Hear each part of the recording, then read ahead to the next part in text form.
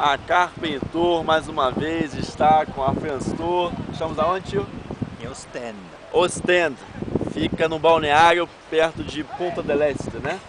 Você que falou. Ah, tá? não é, não é, nós não estamos em Punta del Este, estamos na Bélgica. Bélgica.